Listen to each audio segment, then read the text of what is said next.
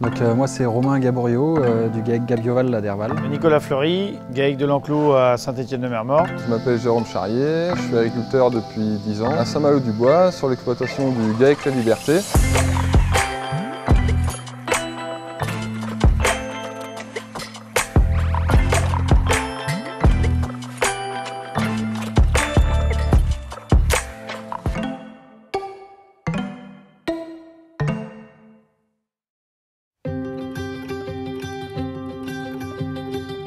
L'exploitation à l'heure actuelle, c'est 150 euh, hectares pour 80 euh, vaches laitières environ. Elle est en bio depuis 1997. Euh, Donc nous, dans l'état d'esprit, de toute façon, on ne voyait pas faire autre chose que du bio. Nos parents se sont installés ici en 82. Ils ont décidé de partir en retraite l'année dernière et du coup à ce moment-là, mon frère et ma sœur avons décidé de reprendre l'exploitation.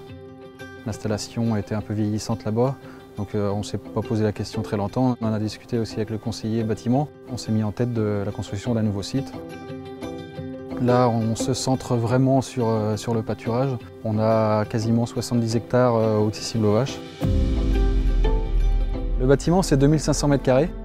On a décidé de faire un bâtiment sur, sur miscanthus en fait. Pailler une centaine de logettes ou remuer du miscanthus deux fois par jour en tracteur, c'est pas le même boulot. Donc normalement, on devrait gagner en efficacité aussi au travail. On a souhaité mettre des panneaux euh, photovoltaïques sur le toit, donc on a installé 100 euh, kg de panneaux solaires.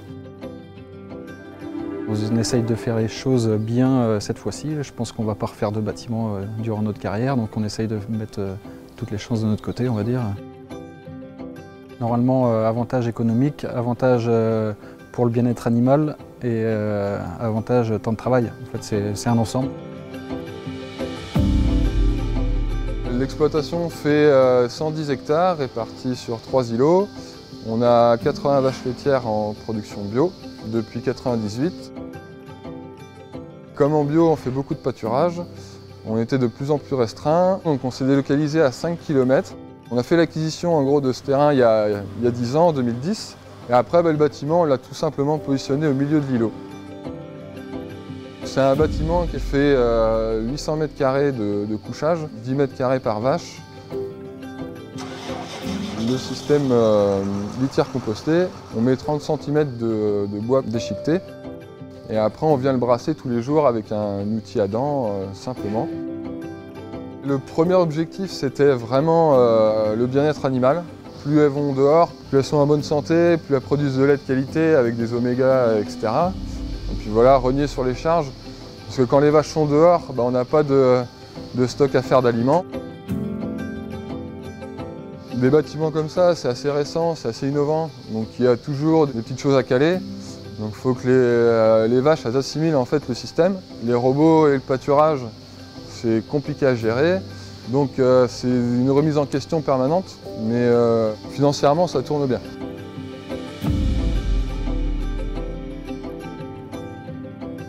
C'est un élevage familial à l'origine.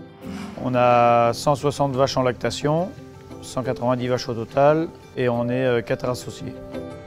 Le bâtiment qui avait été construit à l'époque pour mes parents et mes oncles, on n'était plus aux normes. Et puis nous, on se posait la question bah, par rapport à notre âge de refaire un bâtiment neuf. L'objectif c'était un bâtiment logette classique et quand on a été voir ce genre de bâtiment, ça nous a assez séduit et on est reparti là-dessus euh, finalement. Là on a construit un bâtiment air malaxé, un système avant logette où on avait un tracteur qui passait tous les jours pour racler, on est passé avec un système hydrocurage, donc du coup euh, on n'a plus du tout de temps de main d'œuvre pour euh, racler les animaux.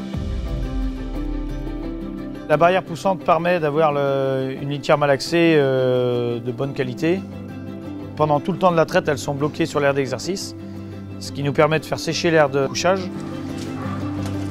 Il faut que ça soit vraiment aéré par rapport à notre système litière où il faut que ça sèche au maximum. Donc euh, l'orientation du bâtiment est primordiale. Je pense pas qu'on reviendra en arrière, par contre on a, on a des choses à améliorer je pense pour passer les 4 mois de l'hiver. A retrouvé nos comptes dans ce bâtiment parce qu'on arrive à faire du pâturage. Par rapport au quotidien d'avant, euh, on a beaucoup plus de temps libre. En termes de bien-être animal, au niveau des logettes, on a plus souvent un peu plus de gros jarrets qu'aujourd'hui on n'a pas du tout. Le bâtiment, on ne l'a pas fait pour le confort de l'humain, on l'a fait pour le confort des animaux.